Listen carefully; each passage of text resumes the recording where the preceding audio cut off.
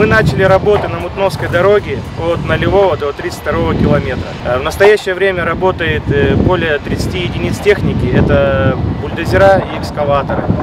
И с каждым днем будем наращивать темп. И хотим обратиться к жителям с просьбой воздержаться от поездок в район э, Велюческого перевала, что на проезжей части работает очень большое количество тяжелой техники.